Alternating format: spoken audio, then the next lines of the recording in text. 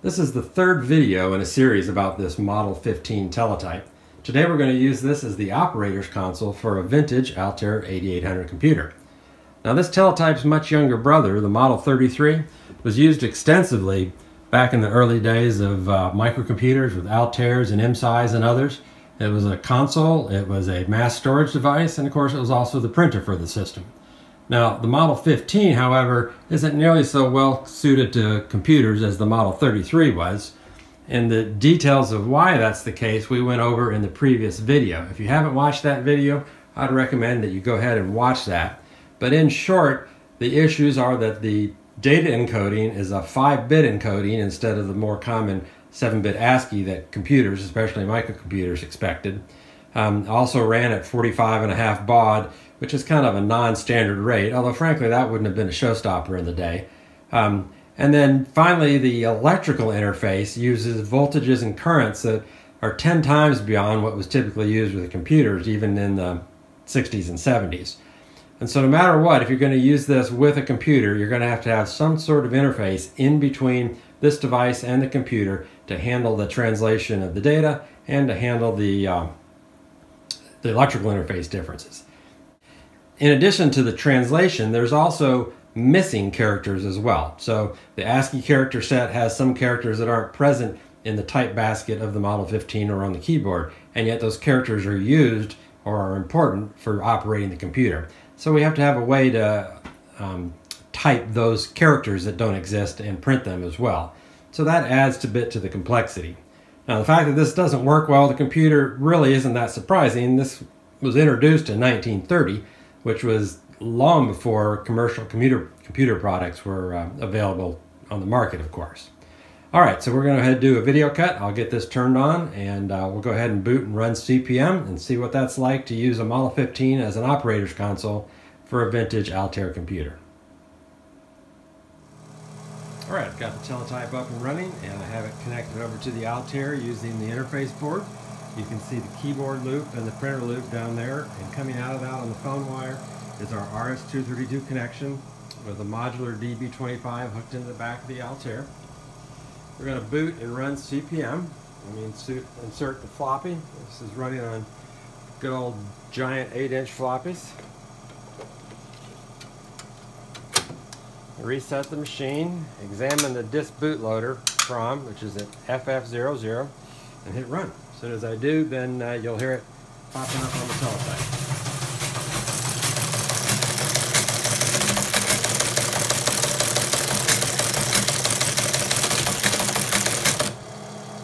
Alright, so right off the bat you can see one character that CP/M uses that's not present in the Model 15 type basket. Normally that's a greater than sign after the A prompt. Um, I have it substituting to a right parenthesis, which seems to work pretty well for the most part um, whoops. Let's do a directory.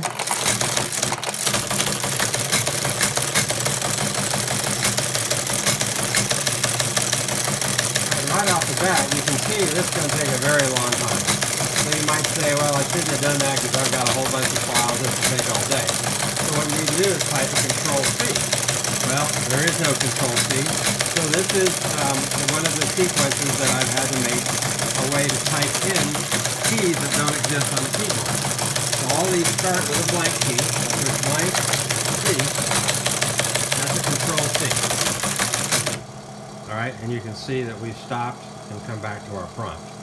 Alright, so blank C is control C, blank X is control X, blank Z is control Z.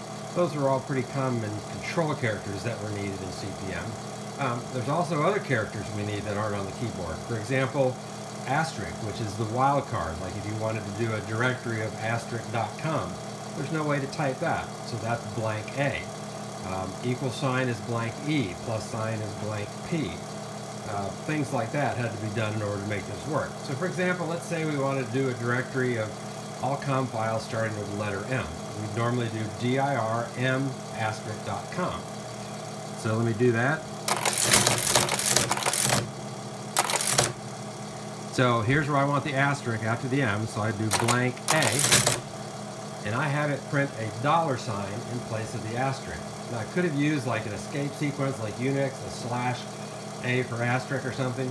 But quite often these characters are used uh, printed repeatedly or in columns and if I use anything more than one character things won't align or look the same. So um, I've decided to substitute a character for each thing. Dollar sign is not an uncommon wildcard character either so that kind of mentally worked fine for me.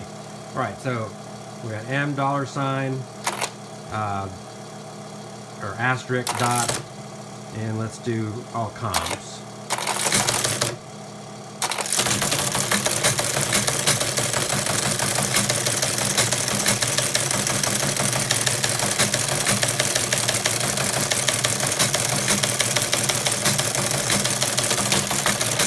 Alright, I'm having type around the, this uh, tripod, so it's kind of difficult. It was already hard to type.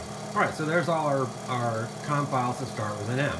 So this was masterisk.com. CPM sees the asterisk it needs. I see a dollar sign. And actually, after I use this for a while, by context, all these substitute characters actually make pretty good sense for me. Let's go ahead and run basic. It's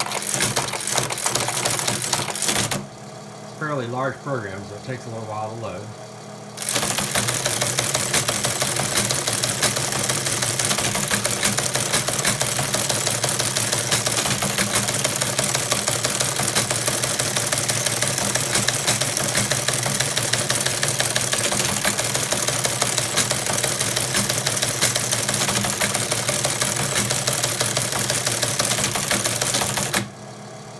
Uh, using this makes the, the Model 33 seem fast, and that was miserably slow.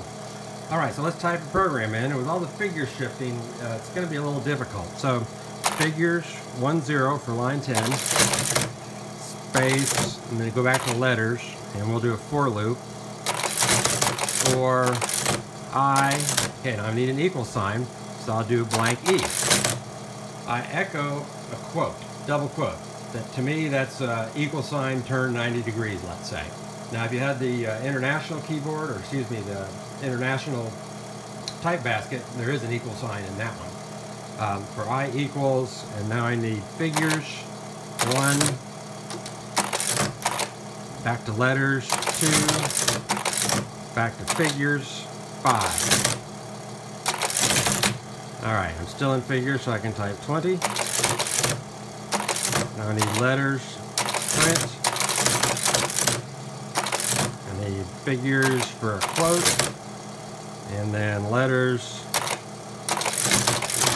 line, figures, quote, semicolon, and back to letters, I. And let's see, let's do times two. So that'd be blank asterisk figures 2. So it's going to print two times the line number each time. All right, figures 30. Uh, letters, next, I. All right.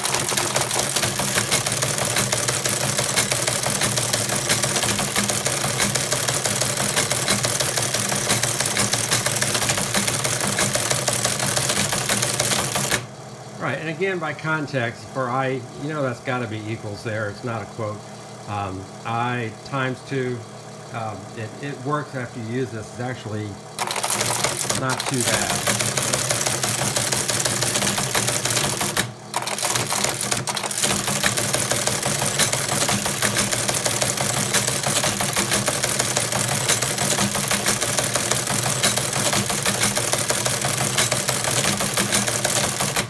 All right, um, so we go back to CPM, the system command. And you can do anything you would normally do in CPM. You can look at the stat for how much disk you have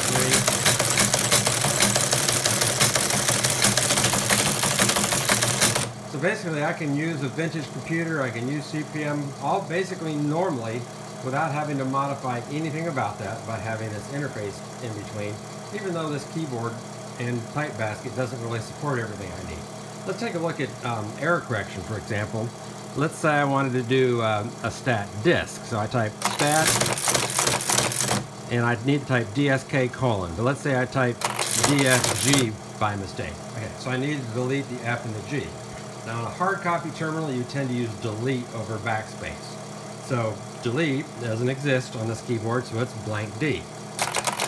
So CP/M echoes the G that was deleted. Blank D again, it echoes the F that's deleted. So now I'm back to the D. So I want SK figures colon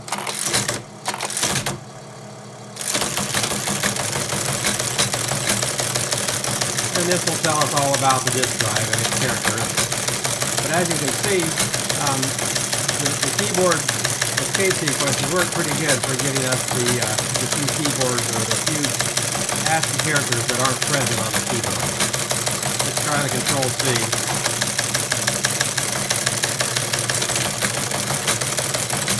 I guess this program doesn't respond to Control C. Oh well, we'll wait and let it finish.